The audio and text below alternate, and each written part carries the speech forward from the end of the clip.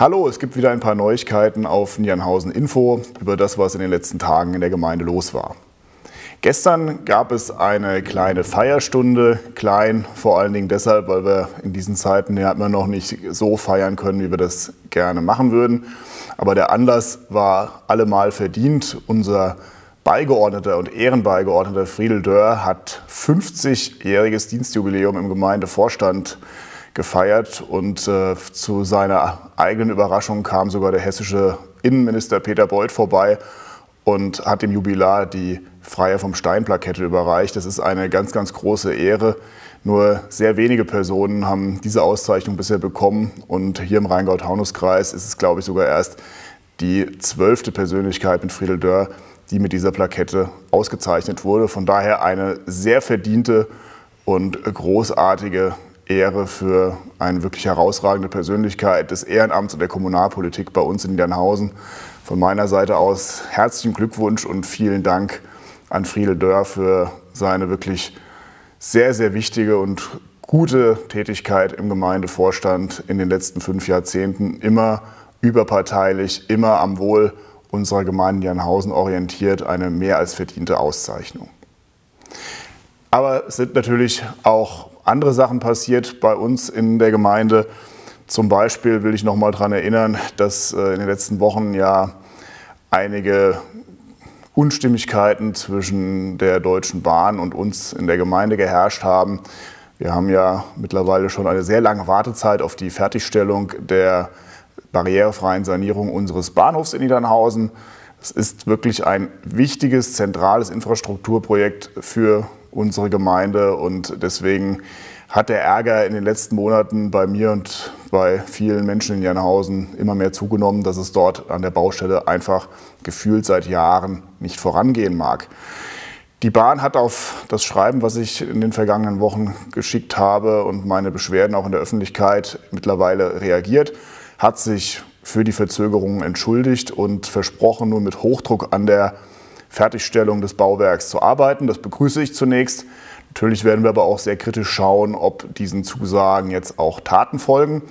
Die gute Nachricht, die uns jetzt erstmal erfreut zum jetzigen Zeitpunkt ist, dass in den letzten Tagen die Arbeiten scheinbar wieder aufgenommen wurden und nun auch in der immer wieder mit Wasser volllaufenden Personenunterführung von den Bauarbeitern wieder Hand angelegt wird. Und wir hoffen, dass es dort jetzt wirklich schnell, zügig und vor allen Dingen auch erfolgreich vorangeht, dass bald die Aufzüge fahren können und dann auch endlich die Barrierefreiheit des Niernhausener Bahnhofs gewährleistet ist.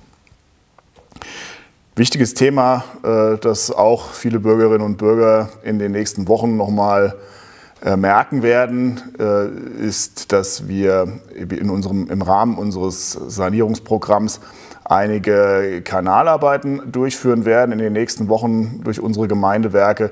Da geht es darum, dass kleinere Schadstellen, die wir in unserem Kanalnetz äh, festgestellt haben bei unseren regelmäßigen Kontrollen, nun durch das sogenannte Inliner-Verfahren ausgebessert werden. Das führt in mehreren Straßen in unserem Gemeindegebiet jetzt zu äh, kleineren Behinderungen, die auch einige Wochen andauern können. Der Vorteil ist, wir versuchen durch dieses Inliner-Verfahren äh, Aufbrüche in den Straßen selbst zu verhindern, aber natürlich bedeutet es zumindest äh, die Einrichtung einer Baustelle, die dann auch nicht innerhalb von ein, zwei Tagen gleich erledigt sein wird.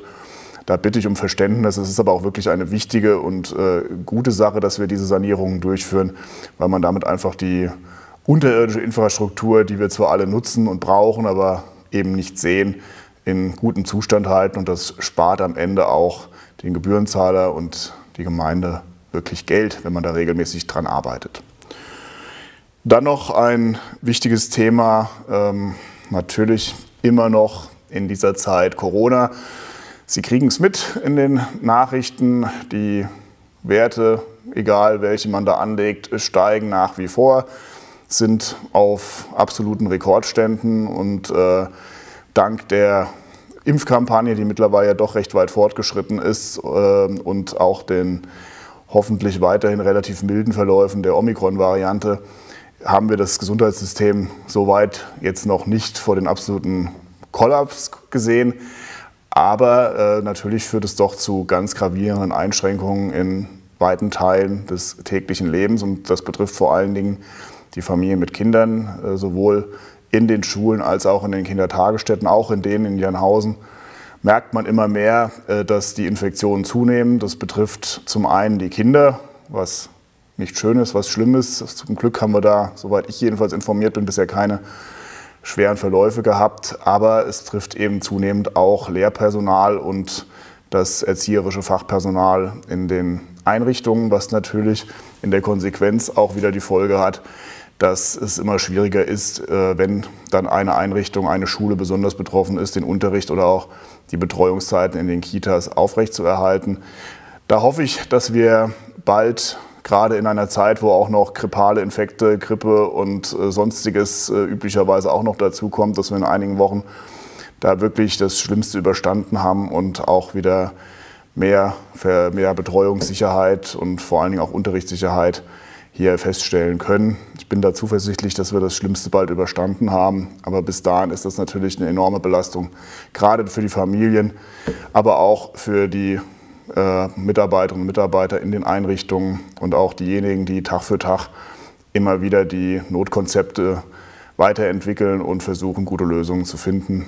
Ich hoffe, dass das bald alles soweit überstanden ist, wenn es dann wieder etwas wärmer wird und man auch wieder mehr im Freien machen kann, gerade in den Kindertagesstätten. Insofern mein Wunsch, bitte bleiben Sie weiterhin gesund und eine gute Woche.